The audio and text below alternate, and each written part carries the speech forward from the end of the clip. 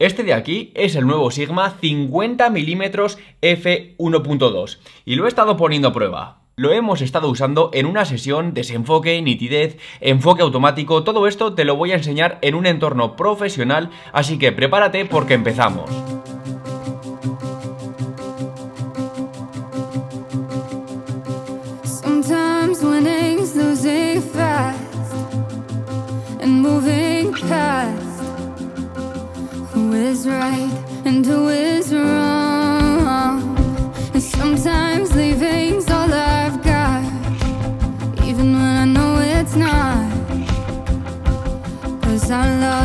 Is too strong for that kind of talk To be more than a thought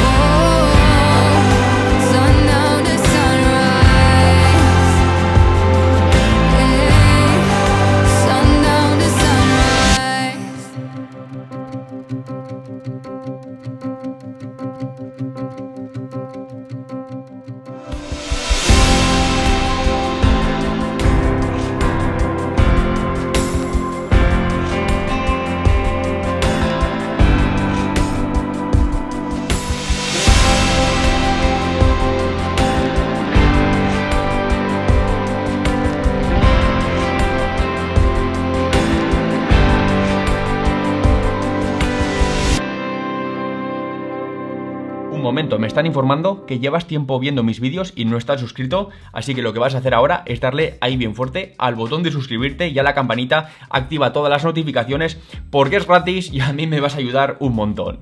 Ale y yo tenemos un estudio de bodas, se llama Naranja y Media, abajo en la descripción te dejo el link por si te interesa.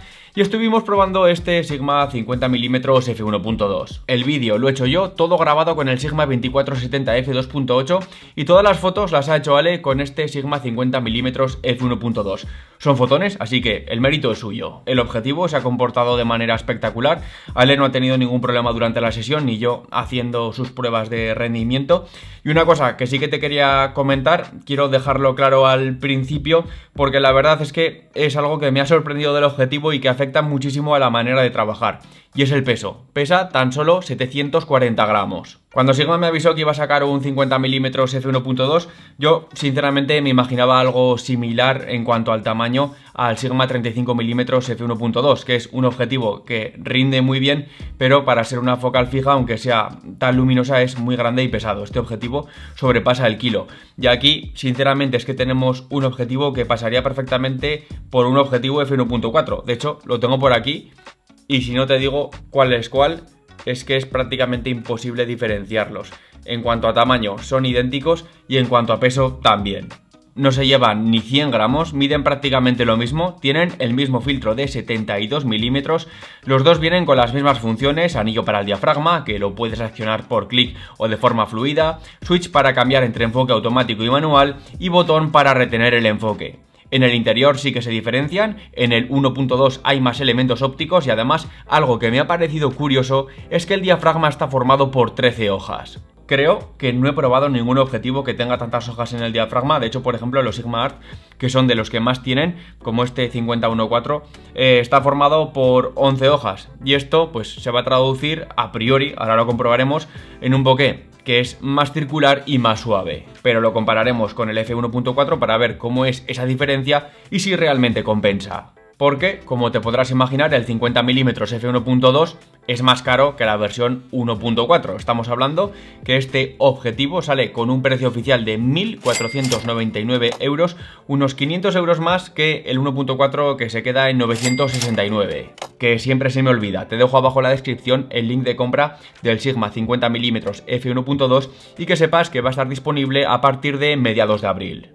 Aún así, un precio que si miramos las opciones del mercado es muy interesante porque el 50mm f1.4 fabricado por Sony cuesta lo mismo que este, 1499 y la versión f1.2 cuesta 2099. He podido comparar el 50mm f1.2 con el 50.1.4 y comentarte que el 50.1.2 es algo más angular, es un 5% más amplio, más o menos, según me confirma Sigma, estas diferencias en cuanto al ángulo de visión van disminuyendo a medida que aumentamos la distancia de enfoque, a medida que enfocamos más lejos. En cuanto al desenfoque, como puedes comprobar, es mayor en F1.2, hay menos profundidad de campo, además las 13 hojas del diafragma hacen que el bokeh del F1.2 sea todavía más circular, incluso equiparando los dos en F1.4 se sigue notando más circular. Y también tengo que decirte, el F1.2 incluso en apertura máxima lo aprecio con una ligera mayor nitidez en el centro, algo más de contraste, ahora lo veremos mejor, pero tiene menos fringing, menos aberraciones cromáticas, así que muy muy bien. En cualquier caso, diferencias muy pequeñas, pero tiene mérito porque el nuevo objetivo es más luminoso. Y ahora sí, vamos a centrarnos en la nitidez de esta óptica más en detalle. Por aquí lo tenemos en F1.2, muy muy bien, tanto en el centro como en la esquina, de hecho si pasamos a F1.4 no se nota gran mejoría. Sí que cerrando a F2.0 se notan las esquinas con algo más de contraste, pero en cualquier caso un rendimiento espectacular desde F1.2. Quería compararlo un poco más en detalle con el Sigma 50mm F1.4 y la verdad, te voy a hacer spoiler, son muy muy similares. Por aquí los dos en su diafragma más abierto, F1.2 y F1.4. El F1.2 tiene algo menos de aberraciones, algo leve, pero en lo que se refiere a nitidez no sabría diferenciarlos al menos en el centro. En la esquina, honestamente, tampoco noto diferencias, los veo idénticos y eso que estoy haciendo una gran ampliación. Igualándolos a F1.4 es que también los veo muy similares en el centro. En la esquina te diría que el F1.2 de la izquierda es algo más nítido, pero es que es muy sutil.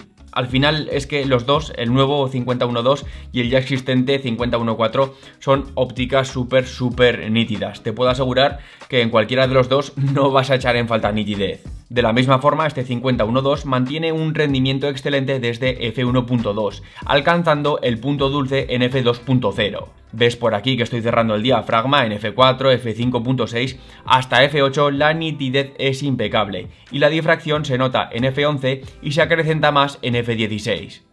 Tiene mejor rendimiento que el 35mm f1.2 que ya fabricó Sigma, muy buen contraste y nitidez desde f1.2, ganas algo de nitidez cerrando sobre todo los extremos, pero no lo veo indispensable. Y al final es lo que queremos, si nos compramos un objetivo, un 50mm que sea f1.2, es para usarlo precisamente desde este diafragma tan abierto, tan luminoso. Queremos que el rendimiento no se vea comprometido en estos diafragmas, porque si no, es que tenemos opciones que son más económicas como el 50mm f1.4, incluso objetivos que son f1.8 o 2.0.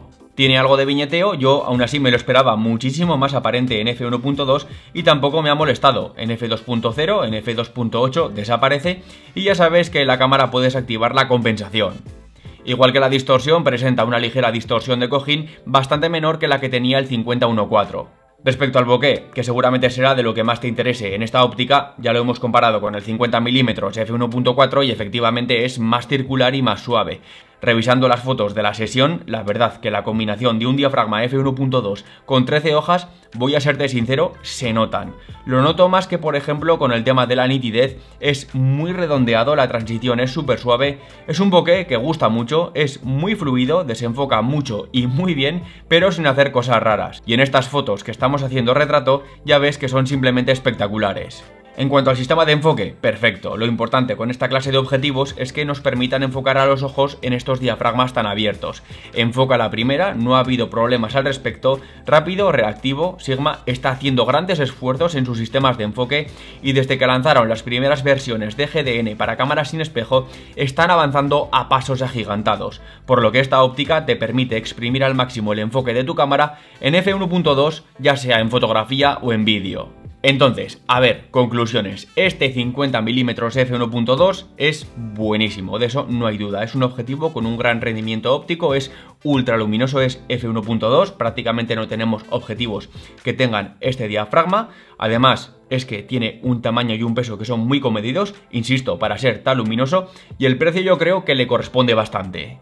Ahora bien, yo no sería honesto si te dijera este es el objetivo que te tienes que comprar a toda costa, necesitas un objetivo que sea f1.2 porque como hemos comprobado simplemente con la versión f1.4, aquí tenemos un objetivo que aunque no llegue a f1.2, aunque no tenga 13 hojas en el diafragma, tiene un rendimiento excelente. Tenemos también un bokeh que es muy artístico y la nitidez como hemos comprobado, también van muy parejas. Aún así, si quieres lo mejor de lo mejor en cuanto a luminosidad, en cuanto a bokeh, desde luego el Sigma 50mm f1.2 es tu objetivo, es el mejor. Por eso te voy a dejar para que la veas ahí la review del Sigma 50mm f1.4.